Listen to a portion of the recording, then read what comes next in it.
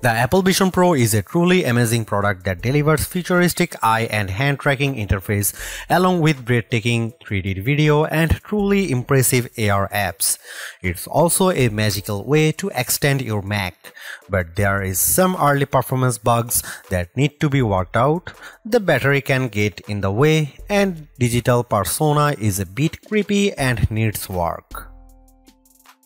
What the heck is happening? That's what I said to myself as I played virtual DJ, spinning two records in front of me with a crossfade knob and special effects I could control with my hands in mid-air. I just reached out and touched them. I had a similar what the fish moment in a good way when I just looked at my MacBook to connect and surprise its display on the wall in front of me. Then I pinned the Apple Music app to the left of my desk and Slack to the right this is what Apple means by spatial computing. And I was left almost speechless when I viewed a 3D spatial video of my three dogs coming towards the camera. It's so immersive you may get a bit emotional. Oh, and you can watch regular 3D movies in Apple TV Plus that blow away your local theater. The Apple Vision Pro is an incredible piece of technology with eye and hand tracking interface that puts the competition to shame. But there is some early bugs and some very weird things that come along with this revelation including a freaky digital persona version of yourself that can appear in FaceTime calls. Starting at 3500 US dollar, the Vision Pro is obscenely expensive and for well-heeled early adopters only but it is the most innovative product Apple has created in over a decade and a fascinating look at the future of computing and entertainment rolled into one very sleek package. Here's it's like to use and my pros and cons so far. The Apple Vision Pro is available for pre-order now and the release date is February 2. This headset may be able to track your eyes with amazing precision, but it also starts at an eye-watering price of 3499 US dollar.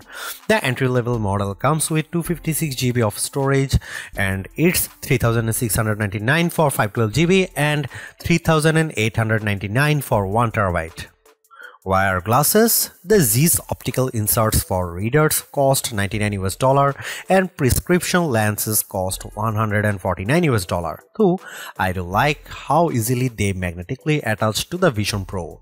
Apple Care Plus will run you an additional 499 US dollar which gives you 2 years of unlimited repairs and damage protection. In terms of accessories, there is plenty of options, but the one I recommend most is the 199 US dollar travel case, which is big and bulky but will protect the Vision Pro when you are flying or just going to and from the office. Other accessories include Belkin's battery holder for 49 US dollar.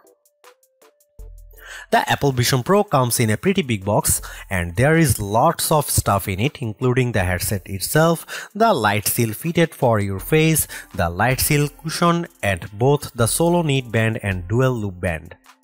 There is also the Apple Vision Pro battery which remains tethered to the headset at all time, a second thicker light seal cushion, a polishing cloth and a 30 watt USB-C power adapter. The Apple Vision Pro is easily the sleekest headset yet with a curved glass front panel and a modular design that makes it very customizable to the wearer. But it's definitely not light. After 30 minutes I felt it weighing on my cheeks. When ordering your Vision Pro, you will scan your face similar to how you'd set a Face ID to get a light seal that's personalized which prevents light from leaking into your view. There are two bands that come with the Vision Pro. There is the solo knit band and the dual loop band. The former is stretchy and makes it really easy to take the Vision Pro on and off. And you can quickly tighten and loosen the fit with the built-in knob.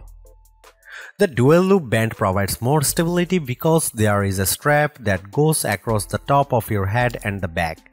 I find this one better for longer Vision Pro sessions as there is more support for what's pretty weighty headset. The Vision Pro weighs 1.3 to 1.4 pounds, which is more than an 11-inch iPad Pro on your head. For context, the Meta Quest 3 weighs 1.1 pounds and the Meta Quest Pro 1.6 mounts. After wearing the Vision Pro on and off for several hours, I didn't find it uncomfortable to wear, but I did feel like taking periodic breaks because of the heft. I also get some light and red marks on my cheeks.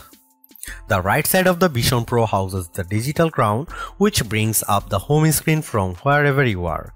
Turning the crown dials up the immersion on whatever environment you are watching and also controls the volume.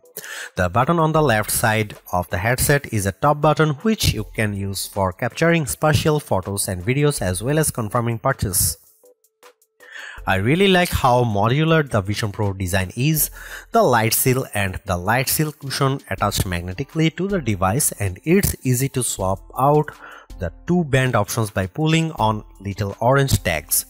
But I would say the magnetic connection could be a bit stronger. A couple times when picking up the Vision Pro, the light seal detached. So you are better off holding it by the metal and glass frame. The Apple Vision Pro feels revolutionary because of how easy it is to operate. There is no controllers to deal with, you just use your eyes to look at the element you want to select and then tap your thumb and index finger together to click. While setting up the Vision Pro, I immediately got accustomed to that input because you are walked through a calibration process that involves following a dot around the screen and selecting it. When you are greeted with a home screen of iOS-like icons that float in front of your view of the room you are in. Vision OS starts with a real-world view as the baseline because the Vision Pro wants to bring digital content to your environment instead of taking it over. And the video pass-through is very lifelike as the dedicated R1 chip is fast enough to stream images to the Vision Pro's micro OLED displays within 12 milliseconds that's 8x faster than you blink. I had no problem walking from room to room of using my iPhone with the Vision Pro on to the frame rate of my iPhone 14 Pro Max was a tad sluggish. As you stare around the home screen view and move your eyes from icon to icon, they light up ready to be selected. This is immensely satisfying, relaxing and easy to do because the Vision Pro has downward facing cameras that can track your hands in your lap. The eye tracking is so good it's also used to authenticate you via Optic ID which measures your pupils for security. So think Face ID for your eyes. When it works, it works well but a couple of times during my testing it didn't work. And sometimes you need to enter your pin code via a floating keypad to enable Optic ID which I found annoying. So what about gestures? You can easily scroll from left to right and up to down by pinching your fingers together and drag the direction you want to move. Zooming in on a photo or web page is as easy as pinching your fingers together with both hands and spreading them apart. It's Minority Report cool. In case you are wondering, I tried the Vision Pro in complete darkness and you will get warning that says you won't see your hands. But the hand and eye tracking interface still works, so you can definitely watch movies in bed. So what can you do with the Vision Pro? For starters, it's a multitasking gem thanks to the built-in M2 chip that runs the OS. For example, I launched Safari in the center of my space, then I turned to my left and asked Siri to launch Slack and the app appeared. When I turned to the right of Safari and opened Apple Music so I could have that playing in the background. Even better, it's easy to move apps around in your virtual space by selecting the bar beneath the app and you can resize them by staring at the bottom right corner and dragging it with your finger. If you want to close an app, you can either stare at the X beneath the window or simply ask Siri to close all apps. You can also go back home at any time by long pressing the digital crown.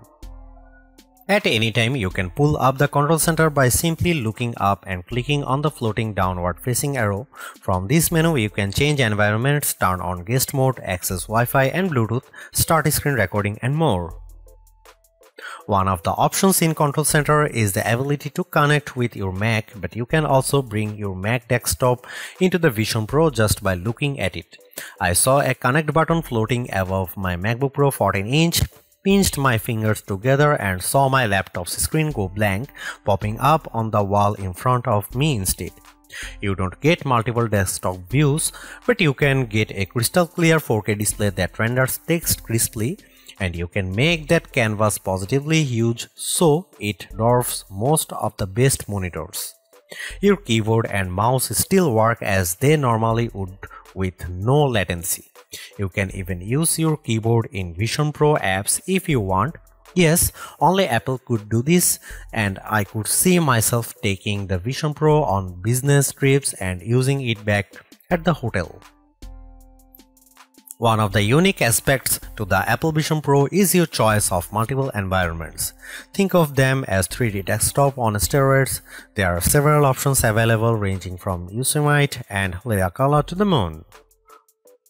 I pulled up Mount Hood and was floored by the level of realism with detailed sand and rocks beneath my feet, rippling water in front of me and towering mountain in the background and you get to decide how immersive the environment is by turning the digital crown clockwise or counterclockwise.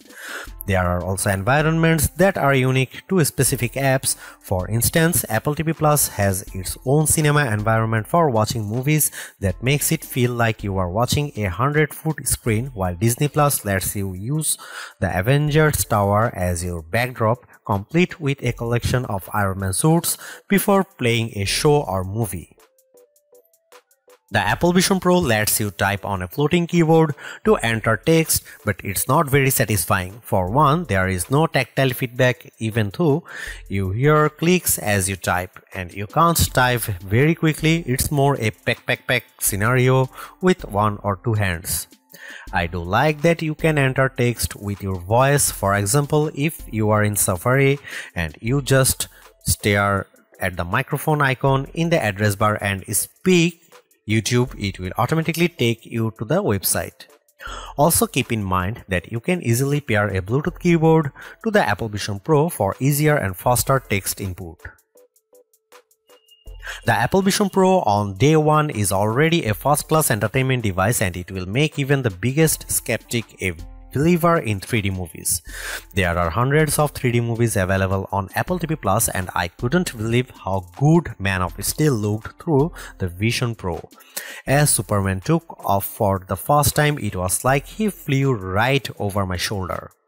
The more recent The Super Mario Bros. movie was even more immersive, with the characters popping off the screen as Mario flew around in his raccoon suit while being chased by an oversized bomb. This is a good time to mention that the sound from Apple Vision Pro is surprisingly good. There are two audio ports built into the strap positioned close to your ears and they deliver rich and balanced spatial audio. For example, I could hear Mario coming from the left side of the screen and Princess Peach from the right as they spoke. When listening to SZA's Kill Bill through Apple Music, the audio ports had plenty of punch in the drums and the vocals were crystal clear. However, it's worth noting that the audio will leak out from the Vision Pro while listening so if you want to keep things private you should wear AirPods. The AirPods Pro 2 with USB-C is your best bet because they support lossless audio. If you want to take entertainment to the next level, there is a immersive video, a new format that delivers a 3D experience via 8K recordings with a 180 degree field of view. For example, I nearly lost my breath when I watched a female highliner attempt to essentially walk a tightrope between two mountains 3000 feet above the earth in Norway. Apple has shown other examples of how immersive video could come to life, such as through a goalkeeper's perspective during a soccer match and I could see this as a game-changing format for watching sporting events, especially since Apple has rights to broadcast MLB and MLS games. You could essentially sit anywhere you want to see the action. The Apple Vision Pro is easy to scoff at because of its price and I definitely can't afford one at 3500 US dollar but now that I have been wearing one and testing all its features I would argue that it's the most innovative Apple product since the original iPhone. There is an insane amount of ingenuity of display here from the razor sharp micro OLED displays and the super realistic video pass through to the remarkably intuitive and fun interface that tracks your eyes and hands. I am also very impressed with the spatial computing experience as it takes multitasking to the next level, especially when you add a Mac to the mix. In terms of entertainment, the 3D video experience on the Vision Pro is unmatched and immersive video in particular has a ton of potential to change the way we view everything from concerts to sporting events. And the 3D goodness continues with moving spatial videos and photos that transform your memories into something hyper-real. The Vision Pro app situation is clearly still in the early stages with some notable heavy hitters missing at launch, but the AR apps I tried are jaw-dropping shockingly convincing and should hopefully spur more developers to hop on the board. So what's not to like about the Vision Pro? The super expensive price is a big one as it will greatly limit this headset's initial appeal. Some may want to wait for the rumored lower cost version on the horizon but there is no timetable for that. I also found that the third battery to be annoying at times and the personas while admirable are a bit unnerving to look at. So hopefully they look considerably better after the beta stage. So my bottom line on the Vision Pro is that it's definitely revolutionary but it's a revolution very much in progress. Thanks for watching, see you in the next one.